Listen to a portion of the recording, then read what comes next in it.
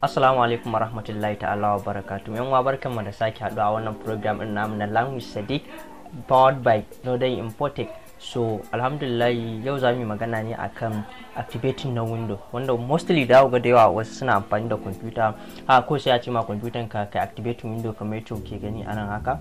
Kuma yawancin baka activating window naka ba license na shi kan shi window da kake amfani da shi ya kare sai ka siya so zai zama na cewa akwai applications din da wasu abubuwan da kwamfutan ka ba ta yi daidai ba kamar karo brightness da sauran abubuwa. So da yawa za ku ganin wani lokacin kwamfuta yana sa maka activate windows. To yau zan nuna mana yadda za mu activating nashi ta hanyar amfani da software da ake kira da KM Spico so mostly in ka kai za ma activating window a wani gun za ka riƙa biyan su kamar 1500 12 ya danganta da price din da yake a so yadda za mu activating window a yau shine da farko wannan kamar yadda kuke ganin windows 11 ne so in kana da windows 10 za ka kai taskbar ɗinka a ɓangaren nan so idan ka shiga ka zo start menu za ka je setting. Ga setting nan inda kuke gani so in muka zo setting za mu shiga wanda kuma suke da za ku yi sacin a nan misali za ku shiga ku sacin ku sa a windows idan kuda ba ga idan windows windows 8 ne da kai ko 10 za ka sa windows security misali.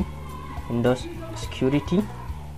In kai sacin windows security ga shi ya budo so ga inda ya sa virus and threat in ka shiga windows security so zai za ku jira zai budo maku. In kuka jira ya budo ga wani guda aka rubuta virus and threat protection sai ka danna nan go. So idan ka danna sai ka yi scrolling kasa za ku ga sa virus and threat protection setting. Sai ka danna manage setting. So da ka danna manage setting za ka fara zuwa ka yi gashi. Wani guda ka sa real time protection wato windows defender yana kare maka kwamfutan ka daga virus to sai ka kashe shi on for na yan lokuta kaɗan. Saboda software da za mu amfani da ita su windows za su ɗauka cewa virus ne kwamfuta za ta ɗauka cewa virus ne so sai ka kashe ka sa yes sai ka kashe shi kai offin nashi sai ka yi minimizing go.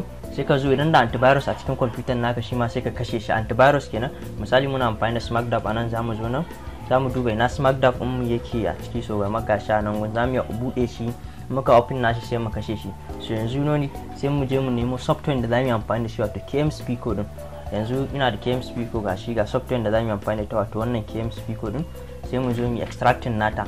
In ka zo kan software ka buɗe shi idan ma kaga software ba alaman irin wannan littafin sai ka installing wata abu da ake mata wera zipa ce da take buɗe abubuwan da aka yi compression so za mu zo za mu buɗe ta sai mu open.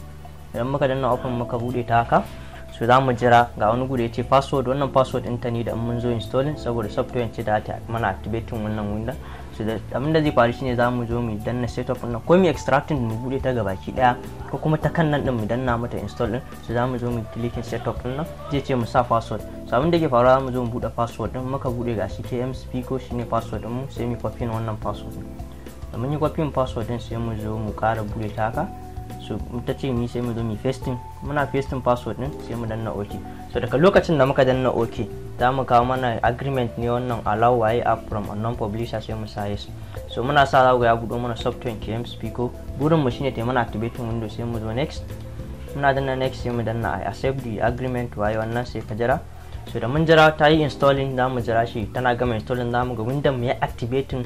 Za a yanzu license namu zai dawo za a tabbatar da cewa window mu ya install su dama window ka siya shi a normal idan kwamfuta ta zo da window akwai satin lokacin da yake expire wato license ɗinsa ya kare shi ka kare siya so wannan dabara ce ta KM Spico kamar ba wai a ce legal kun gan kuka kula yanzu ga shi window namu har ya fita ga yanzu shikenan mun yi updating mun siya license mun yi activating window namu.